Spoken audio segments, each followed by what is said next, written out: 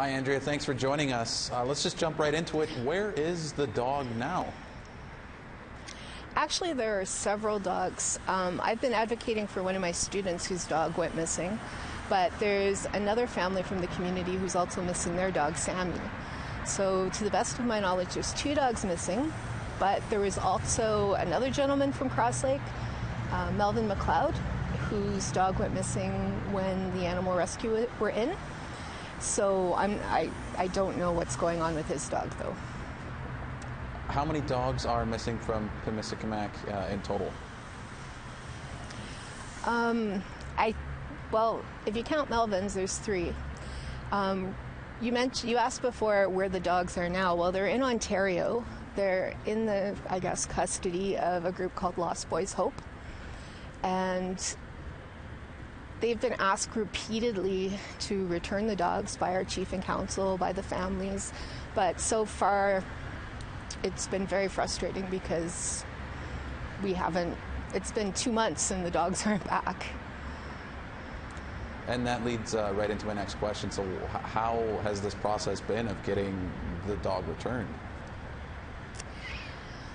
Oh, well, the dogs first went missing when um, Lost Boys Hope left our community on June 5th.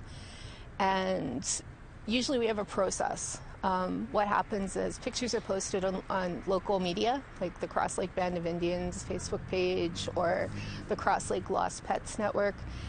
And the pictures are posted, and families will be able to see if their animal has been mistakenly taken.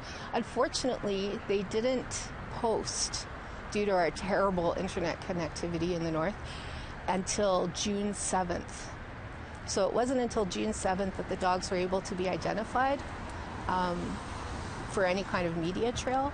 But as soon as they were, um, both Raina, my student, identified her dog, and Hillary Moni- Monias identified her dog, Sammy.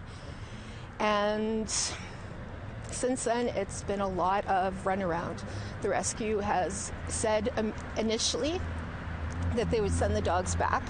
I've seen all of the emails and messaging between the um, animal rescue organizations, and it's just been a I don't know the plate word for it. It's it's been a really circuitous route because it's been okay, June 7th, we'll send the dogs back. Oh, the 15th, um, Lost Boys Hope writes to our chief and says, No, we want to keep these dogs. Do you expect any dogs back? Like kicking the family right out of any negotiations. So it's, I think the biggest word is frustrating. So, what is the community doing to keep this from happening again, Andrea? Oh no, that's that's the easiest part of it all. Um, because of the exposure of us writing online and talking about these missing dogs, we've had several people all across Canada put their heads together to try to help us find some solutions. So right now, there's a group of women based out of Ontario and British Columbia um, personal friends, community members from Cross Lake who are getting tags together, blank tags, and we have a person who's volunteered to engrave them. We're collecting uh, $10 per tag. Of course, you know, if, if somebody can't afford to get a tag for their dog, we will find a way to sponsor them. And we're going to put together, we're calling it Operation Dog Tag. and we'll take any monies that we make and we'll put it back into helping pets into the community. And do you have any advice if someone thinks uh, a dog uh, rescue may have taken their pet? That's a really good question. This has been a really hard process.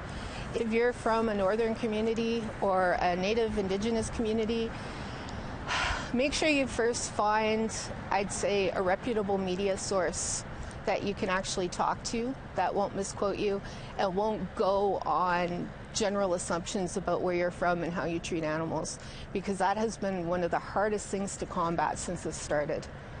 People make a lot of assumptions about Cross Lake, Pimicikamak, and how we treat animals. So that's Perfect. probably the best advice I can give. Perfect. Thanks, Andrea. That's Andrea McIvor joining us from Winnipeg. Thank you.